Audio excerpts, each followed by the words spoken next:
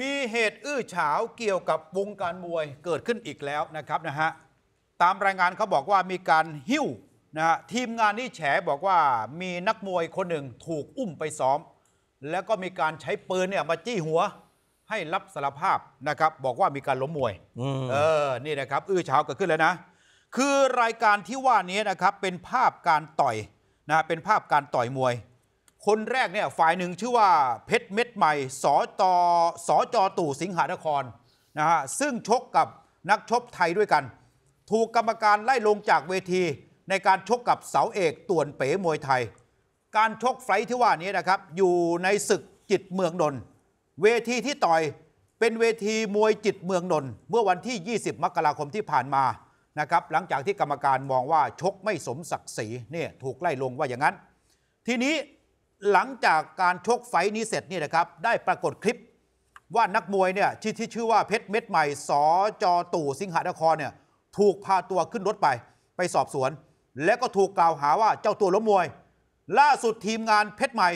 สอจอตู่สิงหนครได้โพสต์ชี้แจง ผ่านทาง Facebook นะครับหลังจากที่นักมวยเนี่ยถูกไล่ลงว่าไม่ชกสมชกไม่สมศักดิ์ศรีระบุว่าขอระบายนิดหนึ่งนะคะ ก็คือว่าลูกบ่าวของเราเนี่ยไปชกมวยที่กรุงเทพ เวทีนี้มีชื่อเสียงก็ว่าได้ แต่บังเอิญว่าลูกบ่าวของเราเนี่ยเกิดปวดท้องกระทันหันก่อนจะขึ้นชก และก็ได้โทรศัพท์มาบอกกับทางบ้านแล้วว่าปวดท้องนะฮะไม่รู้จะชกไหวไหมแต่ทางบ้านก็ให้กำลังใจ บอกว่าเนี่ยแพ้ชนะเป็นเรื่องปกติ แต่ทำหน้าที่ของเราให้ดีที่สุด พอขึ้นชกได้สักพักก็โดนเขาทำจนกระทั่งจุกนะฮะพอจุกปั๊บเนี่ยล้มนอนลุกขึ้นมาอีกครั้งก็โดนซ้ำอีก นะฮะจนกรรมการยกมือให้ฝั่งน้ำเงินเนี่ยให้เป็นผู้ชนะ แต่กรรมการอีกคนอยู่ข้างล่าง โบกมือบอกว่าไม่ให้ชูมือ และก็ให้ไล่นักมวยลงจากเวทีกล่าวหาว่าล้มมวย หลังจากนั้นก็พาลูกบ่าวของเราเนี่ยไปสอบปากคำหาเรื่องหาราวที่เกิดขึ้นนะครับ ทีนี้เขาก็ระบุต่อไปบอกว่า แต่เหตุที่ไม่คาดฝันเกิดขึ้นก็คือว่า คนของทางเวทีมวยนะครับพาลูกบ่าวของเราไปสอบ หาว่าเรื่องราวเป็นยังไง แต่เหตุที่ไม่คาดฝันก็คือ คนของเวทีมวยได้พาลูกบ่าวของเราเนี่ยไปซ้อม เพื่อให้รับสารภาพบอกว่าล้มมวย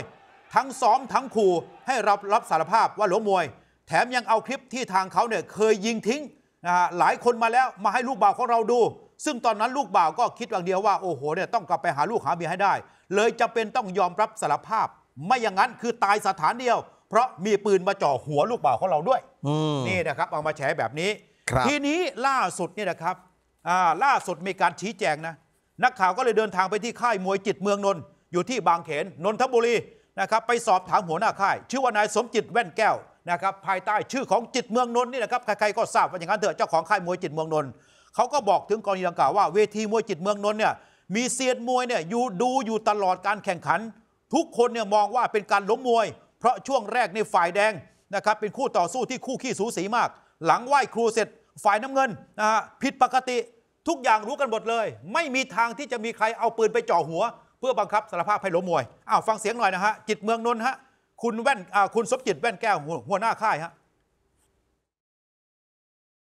จริงแน่นอนอยู่แล้วนักมวยเขาก็รับสารภาพแล้ว ได้ได้ได้ได้ได้ได้รับการว่าจ้างมาห้าหมื่นบาท จากทางภูเก็ต ผมเป็นคนสอบเองเลย ไม่มี เพราะว่ามีแต่บอกว่า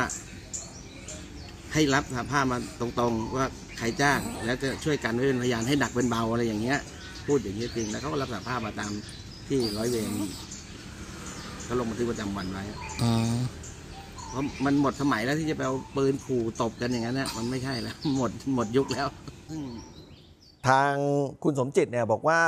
นักมวยเนี่ยรับเองว่ารับเงินค่าจ้าง5 0,000เพื่อล้มมวย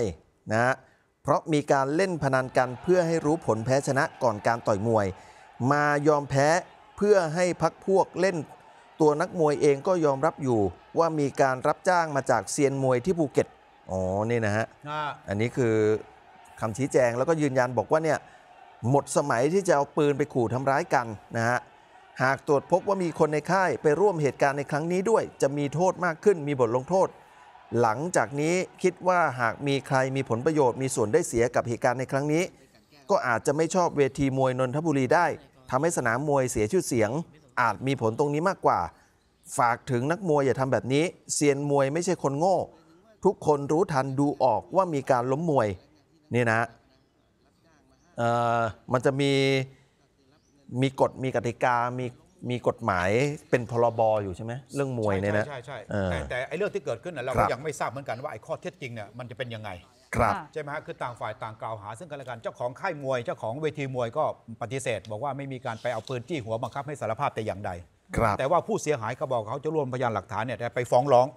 นะครับถึงศาลถึงโรงถึงศาลกันต่อไปนะ